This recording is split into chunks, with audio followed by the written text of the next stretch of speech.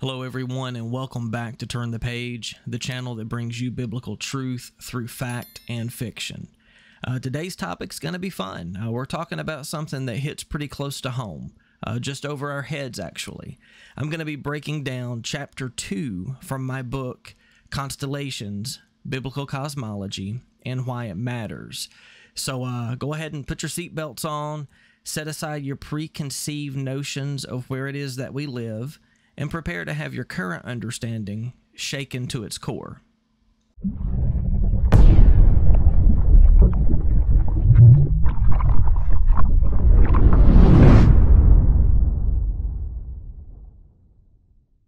Guys, the title of chapter 2 is What About the Firmament? So that's our discussion topic for today.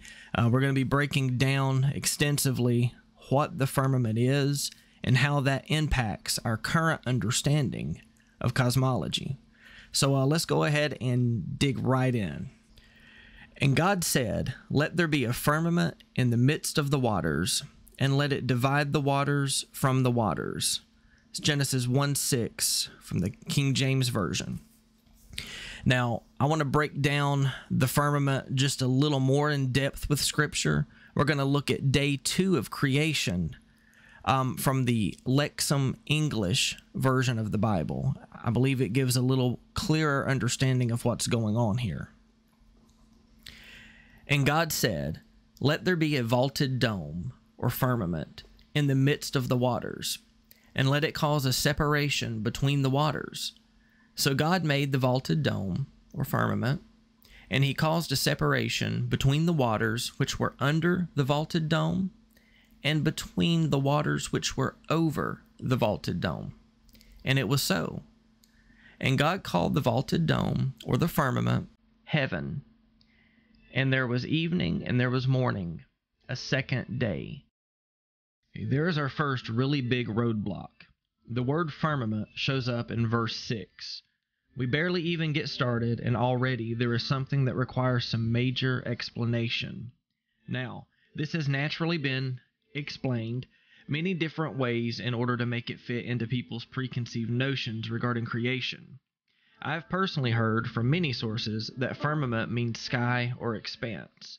The problem with those definitions is that they are wrong. When speaking about the waters above and the waters below, I've also heard some explanations that are comical. I've been told that the waters above are the moisture in the atmosphere, and also that the waters above means clouds. Again, the problem is that those definitions are wrong. They are easily proven wrong when we do a deep study on the word firmament. We'll talk about the waters above later. The word firmament is so interesting because it is a very specific word that was chosen. Some Bible translations have gone with man's opinion regarding the firmament and replaced the word with sky or expanse. This is simply wrong and shows that someone has attempted to make the scriptures fit the current scientific model when they simply do not.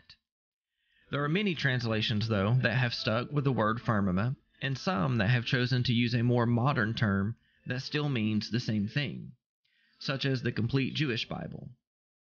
God said, Let there be a dome in the middle of the water, let it divide the water from the water.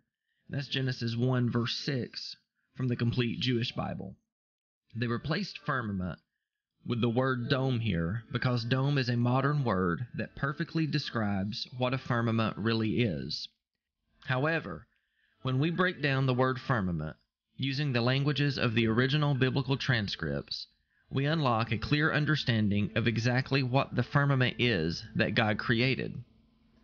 Okay, so we have the Hebrew word rakia, which means extended surface, solid, expanse, as if beaten out, an absolute construct, vault of heaven or firmament regarded by Hebrews as solid and supporting waters above it. Is from the root word raka, which means to beat, stamp, beat out, or spread out. Now, the Hebrew translation is what the original text would have used because Hebrew was the language at the time. However, we know that as time went on and civilizations progressed, the Hebrew was eventually translated into the Greek, As the Hebrew was translated into Greek, the word chosen to replace rakia was stereoma. This is another interesting word choice because it has a very specific and similar meaning. Stereoma means the following that which has been made firm, the firmament, that which furnishes a foundation, firmness or steadfastness. As you can see, none of these definitions work with our current model. This would indicate that a solid barrier was created over the earth on day two of creation. I'm sure you can see the problem here because modern day science would tell us that no such construct exists. So let's dig a little deeper into the firmament with two more modern translations of the word. In Latin, the word for firmament is firmamentum, which means the following strengthening, support, prop, stay, or firmament. And then finally, we come to the English word, which is firmament, and it means the following the heavens or the sky, especially when referred to as a tangible thing or a divider. So that takes care of the main definitions of the word firmament. But however, we can also look to other scripture regarding the firmament in order to support the fact that it is a solid, tangible divider. We don't need to rely upon definitions alone. The beautiful thing about truth and the perfection of God's holy scriptures is that there are multiple witnesses within the text itself that we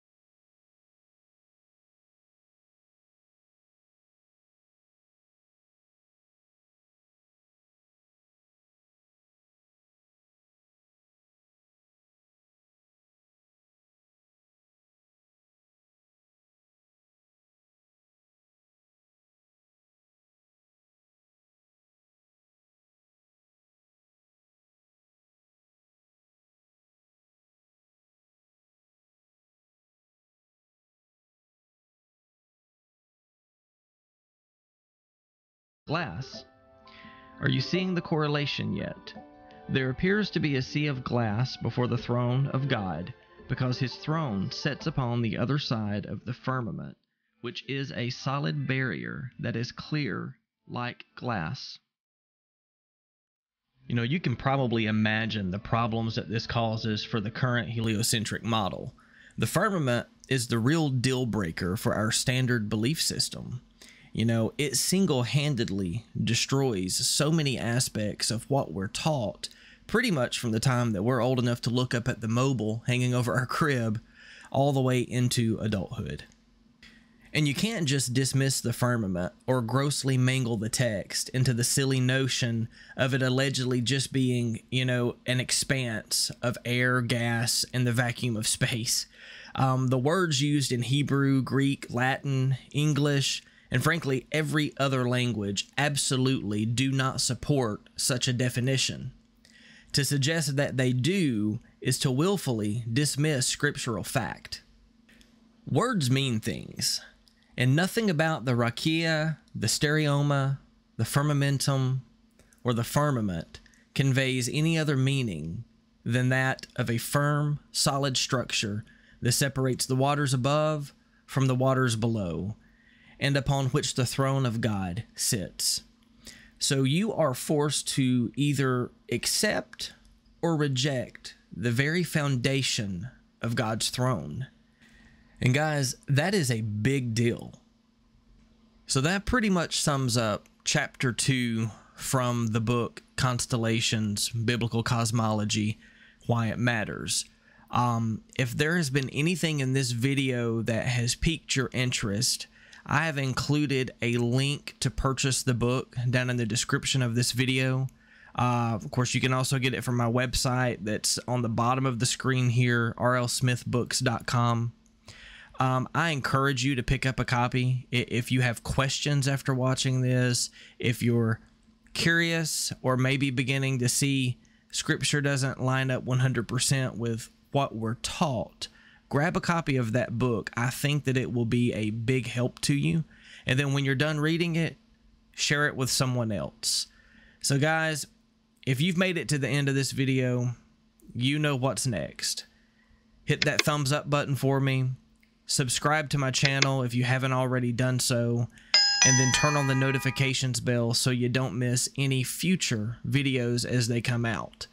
Um, I also have a link in the description of this video to my Patreon. So if you feel like you enjoy what I do and you want to support me through Patreon, that option is available for as little as $5 per month. So I appreciate all the support that you guys already give me just from watching my videos. If you feel like you want to take it to the next step, that is available. And once again, thank you so much for hanging out with me today, and I will see you next time.